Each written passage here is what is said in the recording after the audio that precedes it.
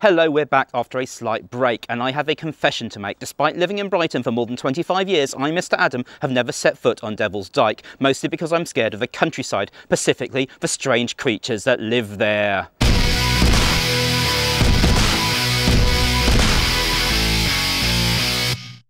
But today, the 31st of August, is the last weekday of 2018 that the number 77 bus runs, so I'll be facing my fears, fighting off the creatures, and facting the hell out of Devil's Dyke for you, my army of fans. Roll titles.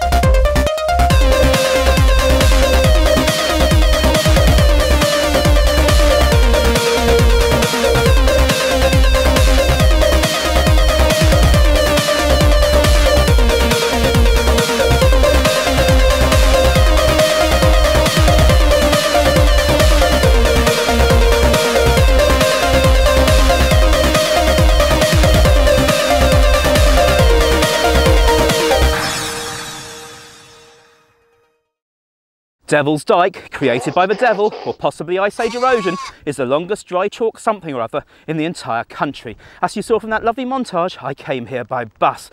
Well, I had to, there's no other way to get up here by public transport, at least not now. But rewind 110 years, and there are a whopping three other forms of transport that took you to the top of this hill. So what were they?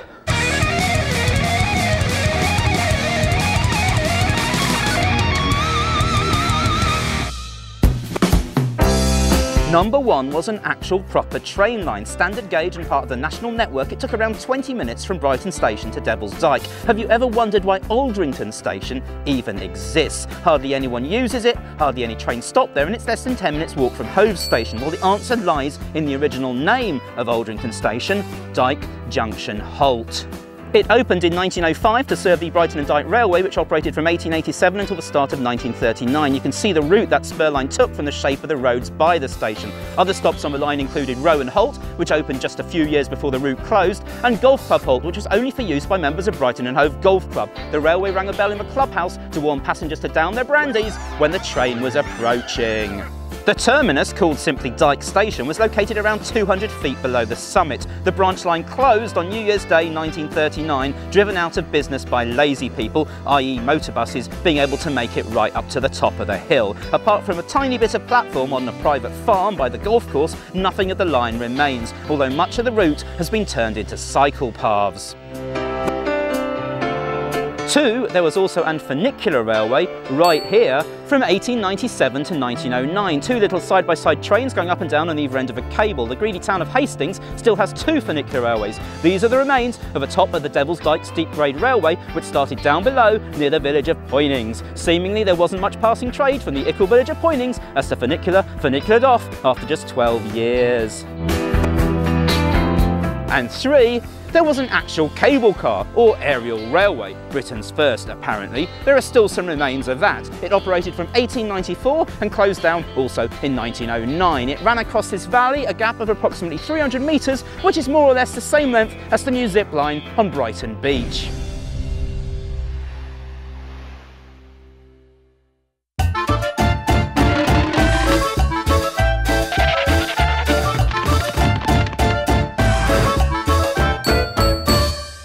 O those transports. So why the heck was everyone so keen on coming up Devil's Dyke anyway? There's nothing here but an overpriced pub and a car park. Now, yes, but back in Victorian times, there was a ton of stuff up on this here hill. This included a major fun fair with an early incarnation of the roller coaster, a bicycle railway, multiple fairground attractions, a shooting gallery, a shed load of billiards tables, a camera obscura, a bandstand, and much, much more. Devil's Dyke Adventure Park was established by H.J. Hubbard, a big game hunter who bought the land in 1892. The fun fair was dismantled in 1918 when the area was requisitioned by the military. Ten years later it became public land, reduced to being nothing more than standard, terrifying countryside. And that is the story of Devil's Dyke.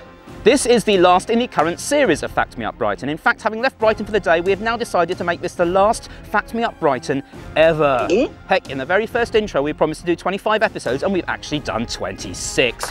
But don't panic, fans. After a brief break, we will return with Fact Me Up Sussex. Roughly half of the episodes will still be about Brighton and Hove, but we'll also visit exotic locations such as Hastings, Eastbourne, Worthing, Chichester, Arundel, Burgess Hill. Okay, probably not Burgess Hill, but who knows? See you then. If you enjoyed Fact Me Up Brighton, why not watch all 26 episodes over and over and over and over and over again until your brains hurt?